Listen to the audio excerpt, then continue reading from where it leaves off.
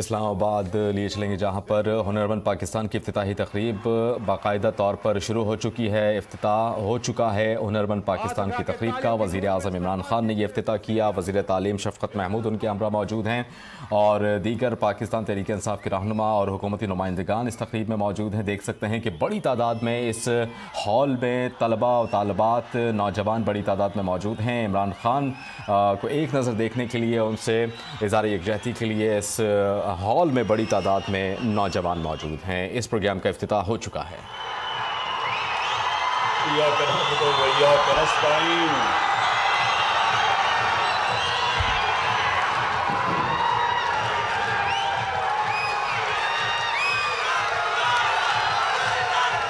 جناب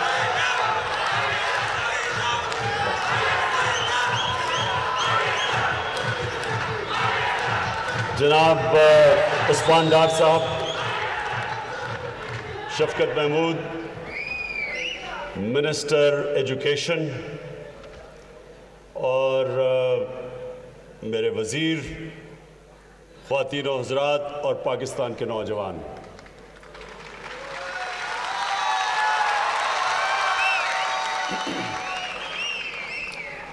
اچھا میں یہ جو ہنرمند پاکستان پروگرام آج لانچ کیا۔ میں اس سے پہلے آپ سب کے لیے ایک آپ کو ایک پاکستان کا روڈ میپ دیتا ہوں کہ ہمارا ملک اب کس طرف جا رہا ہے اور انشاءاللہ کیسے ہمارے ملک نے ایک عظیم قوم بننا ہے۔ یہ بڑا ضروری ہے اور میں خاص طور پہ اپنے نوجوانوں کے سامنے یہ کہنا چاہتا ہوں۔ یہ بڑا ضروری ہوتا ہے قوم کو پتہ چلے کہ یہ قوم کیوں وجود میں آئی تھی؟ اس کا مقصد کیا ہے؟ اس کا مقام کیا ہے؟ اور اس لیے یہ جو آج کا پروگرام ہے، ہنرمند نوجوان، یہ بہت امپورٹنٹ ہے۔ کیونکہ یہ اسی یہ جو ہنرمند پاکستان پروگرام ہے، یہ اس راستے پہ اب ہم جا رہے ہیں جو انشاءاللہ پاکستان کو ایک وہ قوم بنائے گئے جو انیس سو سنتالیس میں ایک بڑی خواب کا نام تھا پاکستان۔ ایک بڑا لیڈر تھا قائد اعظم محمد علی جناح اور اس سے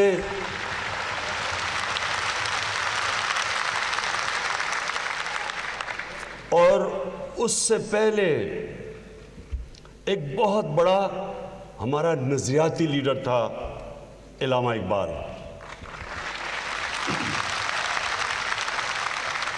تو ہمارا جو پاکستان ہے، مشکل، ایک مشکل وقت سے نکل رہا ہے۔ یہ میں سب نوجوانوں، آپ سب کے سامنے یہ چیز کہنا چاہتا ہوں، انسان کی زندگی میں ایک ادارے کی زندگی میں، ایک سپورٹس ٹیم کی زندگی میں، اور ایک قوم کی زندگی میں ہمیشہ اچھے برے وقت آتے ہیں۔ یہ پلیز یہ یاد رکھیں کہ زندگی کبھی بھی صرف فیری ٹیلز میں ہم پڑھتے تھے جب بچپن جب چھوٹے تھے، تو انگریزی کی کتابوں میں پڑھتے تھے۔ And they lived happily ever after یہ صرف فیری ٹیلز میں ہوتا ہے۔ اصل زندگی میں ایسی چیز نہیں ہوتی۔ وہ لیوڈ ہیپلی آفٹر جو ہوتا ہے یعنی جو جو سکون کی زندگی، وہ صرف قبر میں ہی ہوتی ہے۔ زندگی اونچ نیچ کا نام ہے۔ اور جو یہ اونچ نیچ کا جو ڈائنامک سمجھ جائیں، تو وہ ہمیشہ برے وقت کا فائدہ اٹھاتے ہیں۔ برا وقت ایک انسان یا قوم کی زندگی میں آپ کو ایک اللہ کی طرف سے ایک ایسا ایک پیغام آتا ہے کہ اپنے آپ کو اپنی اصلاح کرو۔ تم غلط طرف نکل گئے ہو۔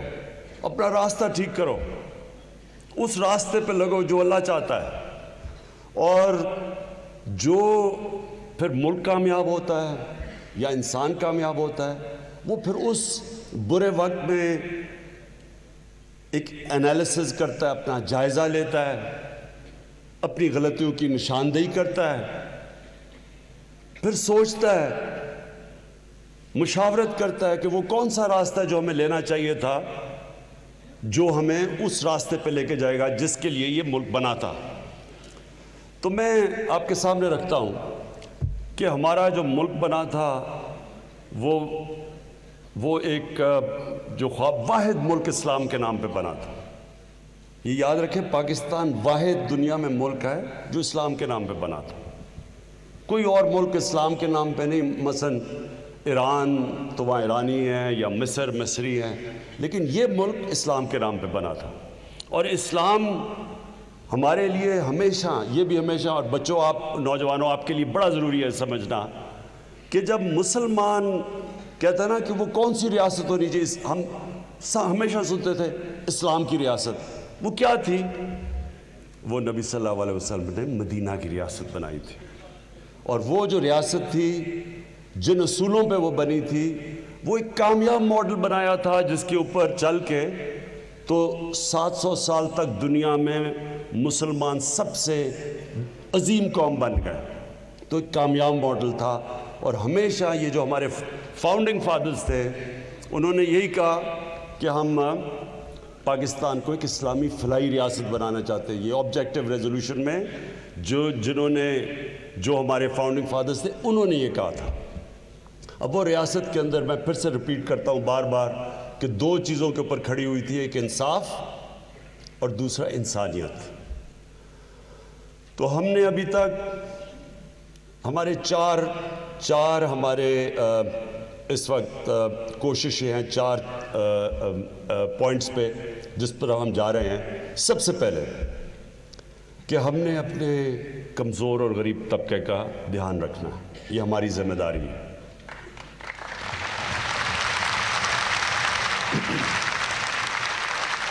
کیونکہ میرے خیال میں اللہ کی برکت ہمارے ملک میں اس لیے نہیں آئی کہ جو غلط راستے میں یہ تھا کہ ہمارے ملک میں ایک چھوٹا سا طبقہ امیر ہوتا گیا اور باقی لوگ پیچھے رہ گئے۔ معاشرے کا جو سارا سسٹم تھا، وہ موقع ہی نہیں دیتا تھا نچلے نیچے سے لوگوں کو اوپر آنے کے لیے۔ اور یہ میرے خیال میں یہ جو نظام ہوتا ہے، یہ ظلم کا نا انصافی کا نظام ہوتا ہے۔ امیر کے لیے ایک تعلیم، غریب کے لیے دوسری۔ امیر کے لیے ایک انصاف، غریب کے لیے دوسرا انصاف۔ امیر کے لیے انگلش میڈیم، عام لوگوں کے لیے اردو میڈیم یا دینی مدرسے۔ یہ ایک مہذب معاشرہ ایسا نہیں چلتا۔ وہ اس میں ایکول اپرچونٹیز دی جاتی ہیں، سب کو موقع دیے جاتے ہیں اوپر آنے کے لیے۔ جو محنت کرتا ہے وہ اوپر آ سکتا ہے۔ یہاں سے ہمارے پاکستانی، میری دیکھتے دیکھتے انگلینڈ گئے۔ تھوڑے سے پاکستانی ہوتے جب میں پہلی دفعہ انگلینڈ گیا۔ لیکن وہ دیکھتے دیکھتے اپنی زندگی بہتر کرتے گئے، ان کے بچے اور آگے نکل گئے۔ کیوں؟ کیونکہ وہ معاشرہ موقع دیتا تھا ان کو اوپر آنے کے لیے۔ جدھر ایکول اپرچونٹیز تھی، اسی طرح امریکہ میں آج آج پاکستانی دیکھیں، وہ کیوں اوپر چلے گئے ہیں؟ بڑے ہر شعبے میں پاکستانی اوپر بیٹھے ہوئے ہیں۔ اوپر نکل گئے، کیونکہ معاشرہ موقع دیتا ہے۔ جس کو وہ کہتے تھے the American dream American dream کا مطلب کیا ہے کہ جو محنت کرے گا اوپر آ سکتا ہے۔ تو ہمارے ملک میں یہ جو سسٹم تھا نا ہمارا، کہ نیچے سے لوگ اوپر نہیں آ سکتے۔ میرے خیال میں یہ سب سے بڑی وجہ ہے کہ اللہ کی برکت نہیں آئی ہمارے ملک پہ اور ہم نے اپنے عام آدمی کا دھیان نہیں رکھا۔ جو فلائی ریاست بننی چاہیے تھی، پاکستان نہیں بنا۔ تو ہماری سب سے پہلا جو پروگرام ہے، وہ ہے احساس کا پروگرام۔ اس کے اندر ہم نے کوشش کی ہے کہ مختلف چیزیں کریں اپنے نیچے سے لوگوں کو اوپر اٹھانے کے لیے۔ سب سے زیادہ مشکل حالات میں ہم نے پیسہ خرچ کیا ہے۔ ایک سو نوے ارب روپیہ پاکستان کی تاریخ میں پہلی دفعہ ایک پیسہ خرچ کیا صرف اپنے غریب طبقے کو اوپر لانے کے لیے۔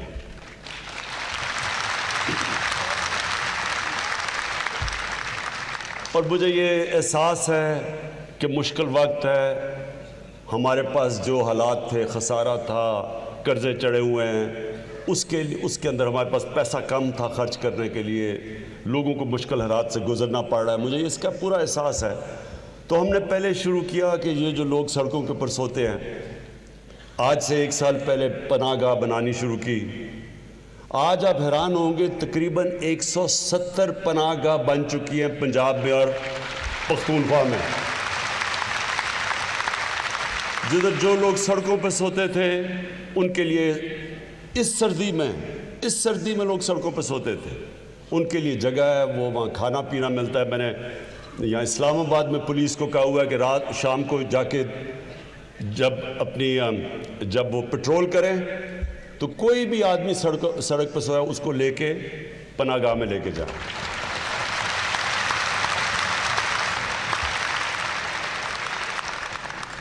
کل یوٹیلیٹی سٹورز کا آغاز کیا ہم نے پیسے ڈالے ہیں چھ یا سات ارب روپیہ۔ تاکہ لوگوں کو ہمارے جو تنخواہ دار لوگ ہیں، ان کو سستی بنیادی چیزیں، آٹا چینی، گھی چاول، دال، یہ تاکہ ان کو مل سکے۔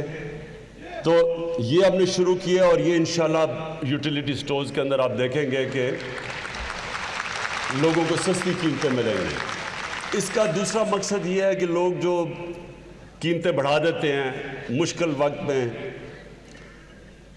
جو مڈل مین جسے کہتے ہیں، بیچارہ کسان ایک محنت کر کے چیز دیتا ہے، لیکن اس میں اور جو بیچارے، جو لوگ خریدتے ہیں، اس میں اتنا زیادہ فاصلہ آ جاتا ہے۔ تو اس لیے بھی یوٹیلیٹی سٹورز کا قیمتیں نیچے رہیں پھر ہم نے جو مجھے سب سے زیادہ، میں سب کے لیے سب کہنا چاہتا ہوں، سب سے زیادہ جو مجھے خوشی ہے، وہ ہے ہمارا ہیلتھ کارڈ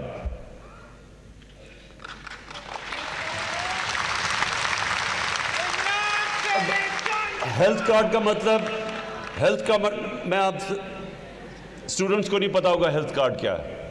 ہیلتھ کارڈ ہے انشورنس ایک غریب خاندان کے پاس کارڈ ہے اور اب تک میرے خیال میں ہم ساٹھ لاکھ لوگوں کو، خاندانوں کو دے چکے ہیں۔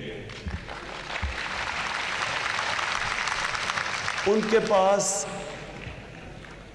پانچ لاکھ چالیس ہزار یا سات لاکھ بیس ہزار میں سات لاکھ بیس ہزار۔ سات لاکھ بیس ہزار اس کارڈ کے اوپر وہ خاندان خرچ کر سکتا ہے، کسی بھی ہاسپٹل میں جا کے اپنا علاج کروائے۔ یہ اس لیے آپ کے لیے سمجھنا ضروری ہے کہ ایک غریب گھرانے کے لیے کئی دفعہ ایک بیماری اس گھر کو بالکل ہی غربت میں دھکیل دیتی ہے۔ اور جو میں نے یہ شوکت خانم کینسر ہاسپٹل بنایا ہی اس لیے تھا کہ کینسر تو خیر بہت مہنگی بیماری ہے۔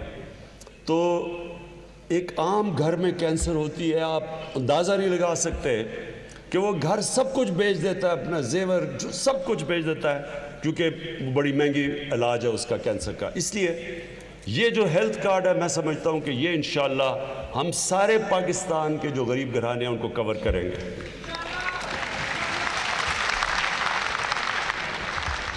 پھر ہم لنگر کھول رہے ہیں۔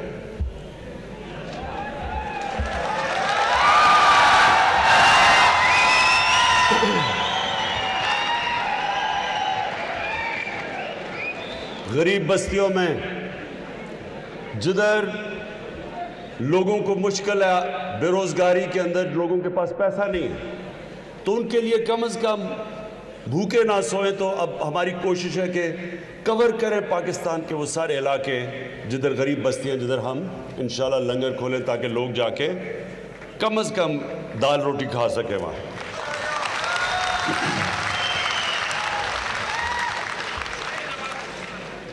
اچھا اب سب سے پہلی ذمہ داری اپنا نیچلا طبقہ جو جو سب سے زیادہ جن کو ضرورت ہے۔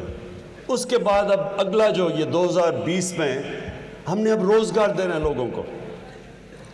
اور روزگار کے لیے سب سے بڑا پروگرام جو ہمیں مشکل لگی ہے، کیونکہ اس میں بڑی رکاوٹیں تھیں، وہ ہے ہم، ہمارا جو پچاس لاکھ گھر ہم نے بنانے ہیں پاکستان کے اندر اگلے چار سالوں میں۔ اس میں پہلی دفعہ تنخواہ دار طبقے کے لیے اور ہم انتظار کر رہے ہیں، بدقسمتی سے وہ قانون پھنسا ہوا ہے، عدالت میں اب تقریباً ایک سال ہو گیا ہے فور کلوجر لا وہ اب امید ہے کہ انشاءاللہ لاہور ہائی کورٹ اس کا فیصلہ کر دے گا۔ اس سے ہوگا کیا؟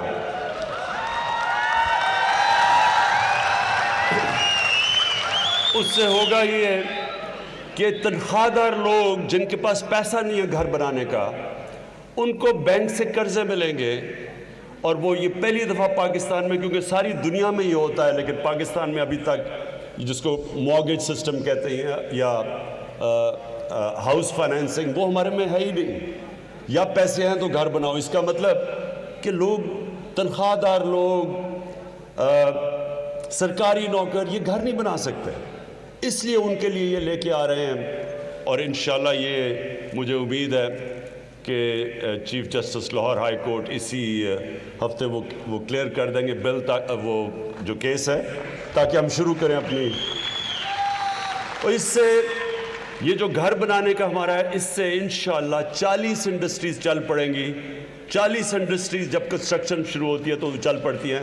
تو اس سے انشاءاللہ ہمارے ملک میں جو اس وقت بے روزگاری ہے، وہ انشاءاللہ ہم ختم کریں گے۔ اس طرح اور دوسرا ہم سکھ انڈسٹری جو انڈسٹریز بند پڑی ہیں، ان کے لیے ایک پروگرام لے کے آ رہے ہیں تاکہ وہ انڈسٹریز کھلیں امپلائمنٹ ہو، روزگار ہو، تاکہ لوگ نوکریاں مل سکیں لوگوں کو۔ اب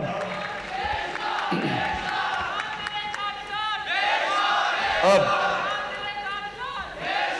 اب میں نوجوانوں پہ آتا ہوں۔ دیکھیں، پاکستان کے پاس جو اثاثے ہیں، ہمارے پاس اثاثے ہیں جو ابھی تک استعمال نہیں ہوئے۔ سب سے بڑا ہمارا اثاثہ ہماری پاکستان کے پاس زرخیز زمین ہے۔ ہم جس وقت بھی اپنی جو ہمارا ایگریکلچر سسٹم ہے، اس کو ٹھیک کر لیں، پانی کا صحیح استعمال کر لیں، نئی ٹیکنالوجی لے آئیں، آپ یہ سوچیں کہ ہم آرام سے اپنی جو پیداوار ہے، وہ دگنی کر سکتے ہیں۔ چائنا اور ہندوستان بھی، لیکن چائنا میں ہمارے سے تین یا چار گنا زیادہ پیداوار وہ لیتے ہیں اپنی زمین سے۔ کیونکہ نئی ٹیکنالوجیز آ چکی ہیں، پانی کا صحیح استعمال ہوتا ہے۔ ہمارا بدقسمتی سے یہ بہت بڑا رکاوٹ بنی ہوئی ہے، کیونکہ ہم وہ پرانے زمانے کی ٹیکنیکس استعمال کر رہے ہیں۔ تو وہ اب ہم نے چائنا کے ساتھ، وہاں بھی ہمارا ایم او یو سائن ہو گیا ہے۔ اور انشاءاللہ یہ جو زرخیز زمین ہے، یہ ہمارا بہت بڑا احساس ہے، جو انشاءاللہ اس ملک کو اٹھائے گا۔ اور دوسرا، مدنیات۔ پاکستان کے پاس آپ سب کو حیرت ہوگی کہ دنیا سے سب سے بہتر تانبے اور سونے کے ریزروز پڑے ہوئے ہیں۔ بدقسمتی ہماری کہ کوئی بھی پیچھے تو اس کے کرپشن تھی، ابھی تک ہم اس کو نہیں استعمال کر سکے۔ انشاءاللہ۔ اب ہماری جو بات چیت چل رہی ہے، انشاءاللہ ہم کامیاب ہو جائیں گے اور یہ آپ دیکھیں کہ اس میں صرف آپ سب کے لیے صرف جو دو کانے ہیں، چودہ ہیں وہاں سونے اور تانبے کی کانے ریکارڈ ڈیک میں۔ دو کے اندر صرف نفع اتنا ہے کہ ہم جتنا بیرون ملک قرضہ وہ ادا کر سکتے ہیں۔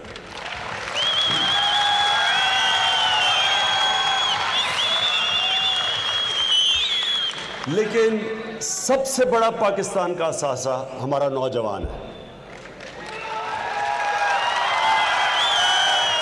ہمارا ایک منٹ ایک منٹ، ابھی نہیں ابھی نہیں ابھی نہیں ابھی نہیں۔ ہمارا سب سے بڑا اثاثہ پاکستان میں اس لیے نوجوان ہے کہ دنیا کے اندر ہمارا سیکنڈ ینگسٹ پاپولیشن ہے۔ یہ جس طرح جس طرح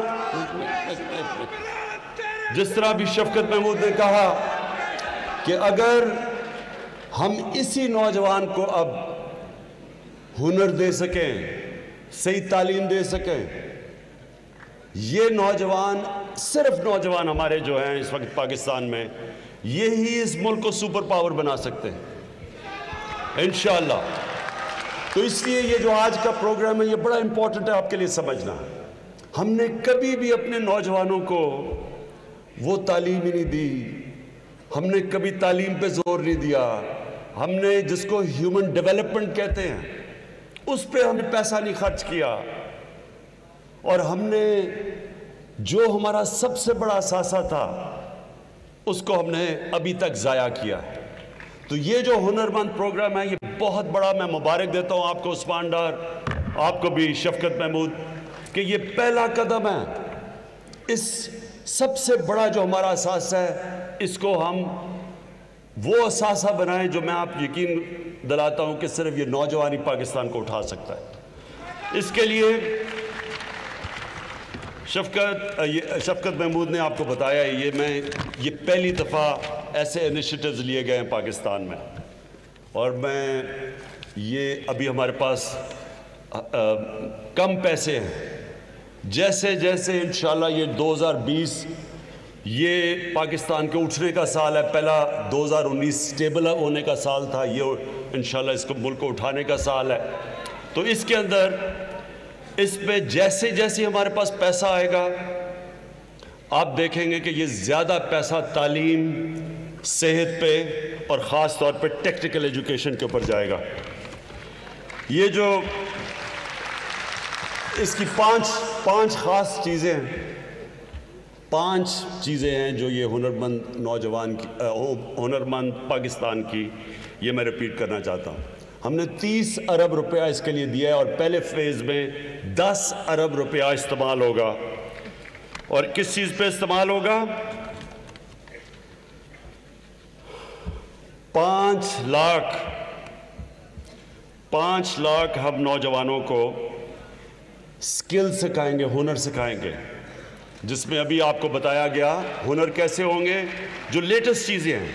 اچھا دنیا ایک اور ایک اور ایک انڈسٹریل ریولوشن تھی۔ یہ اس سے بھی بڑی ریولوشن آ رہی ہے۔ نئی چیزیں آ رہی ہیں جو پتہ نہیں دنیا کو دس سال کے بعد کدھر لے کے جائیں گی۔ جس میں آرٹیفیشل انٹیلیجنس بگ ڈیٹا یہ ساری نئی چیزیں ہیں روبوٹکس ڈیٹا کلاؤڈ کمپیوٹرنگ نئی چیزیں ہیں۔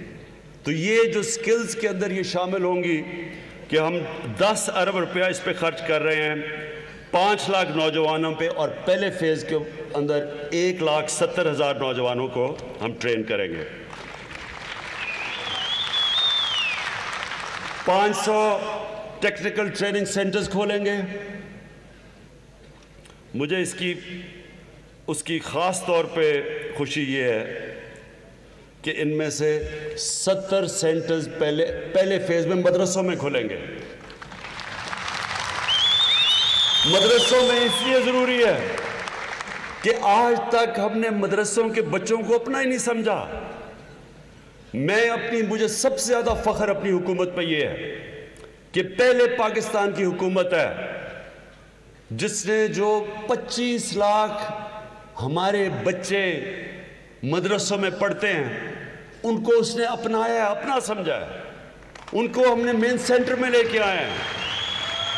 ان کے لیے، مدرسوں کے لیے ہم نے جو وہ سبجیکٹس جس سے وہ مدرسے کے بچوں کو موقع ملے، کسی بھی فیلڈ میں جا سکیں ہم نے وہ کیا ہے۔ تو مجھے اس کا بڑا خوشی اور پہلا ہے کہ ہم نے ستر سینٹر کھول لیا پہلے فیز کے اندر، مدرسوں کے اندر۔ اس کے بعد تین سو smart technical centres. Smart technical centres کا مطلب یہ کہ ان کی افیلیشن ہوگی انٹرنیشنل کوالٹی ٹیکنیکل انسٹیٹیوٹس کے ساتھ۔ اب زمانہ ایسا آ گیا کہ آپ یہاں سے ڈائریکٹ ان کے تھرو اپنے بچوں کو یہاں تعلیم دے سکتے ہیں جو لیٹسٹ چیزیں، لیٹسٹ ٹیکنیکس ہیں۔ یہ میں شفقت، آپ کو، شفقت محمود آپ کو خاص اس کے اوپر مبارک دیتا ہوں۔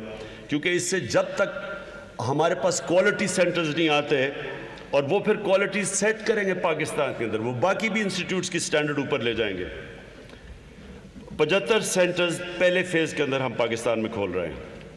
اور جو مجھے، یہ بھی شفقت آپ کی مجھے جو سب سے زیادہ چیز پسند آئی ہے جو نیشنل اکریڈیٹیشن کاؤنسل مطلب یہ ہے کہ جتنے بھی جتنے بھی پاکستان کے اندر سینٹرز ہوں گے، ان کو سرٹیفائی کیا جائے گا کہ یہ ایک ایک کیٹیگری ہے، یہ بی کیٹیگری ہے سی کیٹیگری ہے۔ اس سے کمپٹیشن ہوگی ٹیکنیکل سینٹرز کے اندر۔ آج تک ہمیں پتہ ہی نہیں ہمارے ٹیکنیکل انسٹیٹیوٹس کس طرح کے نوجوانوں کو سکلز دے رہے ہیں۔ یہ پہلی دفعہ کوشش ہوگی سٹینڈرڈائزیشن ہوگی سرٹیفیکیشن ہوگی۔ پتہ چلے گا کہ کون سا انسٹیٹیوٹ کتنی کوالٹی کی تعلیم دے رہا ہے۔ اور یہ میں آپ کو بتاؤں، یہ سب سے امپورٹنٹ چیز اس لیے ہے کہ نوجوانوں کو نوکریوں کے لیے، آگے اچھی اچھی نوکریاں لینے کے لیے اس کا سب سے زیادہ فائدہ ہوگا۔ ہم نے نمل کالج جو ہم نے بنایا ہے میاں والی میں آپ کو یہ حیرت ہوگی سن کے کہ نمل کالج میں پہلے تو سارے ہمارے غریب طبقے کے تقریباً بچے پڑھتے ہیں وہاں۔ نوے فیصد سے اوپر اسکالرشپ پہ پڑھتے ہیں۔ لیکن جو سب سے زیادہ چیز آپ کو حیرت ہوگی سن کے کہ پچانوے فیصد بچے، وہاں کے اسٹوڈنٹس جیسے وہ ڈگری لیتے ہیں، ان کو نوکریاں مل جاتی ہیں۔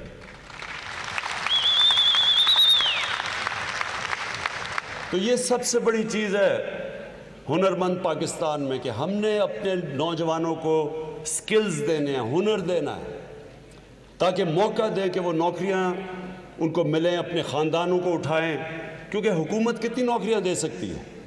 نوکریاں تو ہم، حکومت وہ فضا بنا سکتی ہے جس میں نوجوانوں کو نوکریاں ملیں۔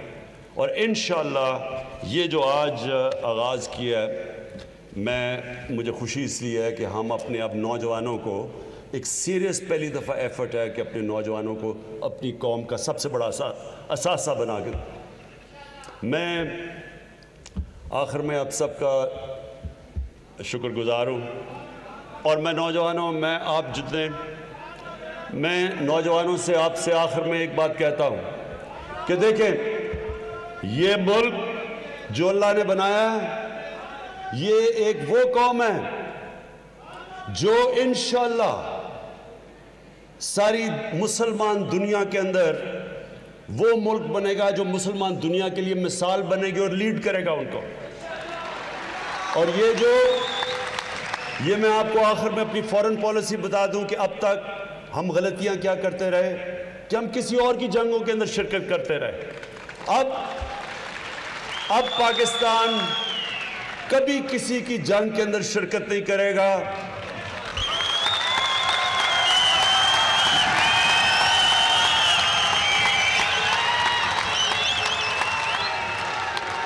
پاکستان وہ ملک بنے گا جو جو ملکوں کے اندر امن پیدا کرے گا۔ اور ابھی ہم پوری کوشش کریں گے کہ ہمارا سعودی سعودی عرب اور ایران کے بیچ میں ہم دوستی کروائیں۔ ہماری سب سے بڑی یہ کوشش ہوگی۔ اور انشاءاللہ یہ بھی میں نے ڈونلڈ ٹرمپ ڈونلڈ ٹرمپ سے بھی میں نے یہ کہا تھا کہ امریکہ کی اور ایران کی ہم دوستی کرانے کے لیے تیار ہیں۔ کیونکہ جنگ، نوجوانوں یہ یاد رکھیں، کوئی جنگ نہیں جیتتا۔ جو جیتا ہے وہ بھی ہار جاتا ہے۔ اور ہمیں اپنے ہمیں جو ہم نے یہ جو وار آن ٹیرر میں شرکت کی تھی، ہم سب جانتے ہیں کہ پاکستان نے کتنی بڑی قیمت ادا کی تھی اس جنگ کے اندر شرکت کرنے کے لیے۔ اور یہ وہ ملک ہوگا اب جنگیں نہیں لڑے گا، لوگوں کو لوگوں کو اکٹھا کرے گا، امن والا ملک بنے گا پاکستان انشاءاللہ، پاکستان زندہ باد۔ براہ راست مناظر اسلام آباد سے آپ دیکھ رہے تھے۔ ہنرمند پاکستان کی افتتاحی تقریب سے وزیر اعظم عمران خان خطاب کر رہے تھے۔ انہوں نے کہا کہ پاکستان کو اب وہ ریاست بنائیں گے جس کا خواب قائد اعظم محمد علی جناح اور علامہ اقبال نے بنایا تھا۔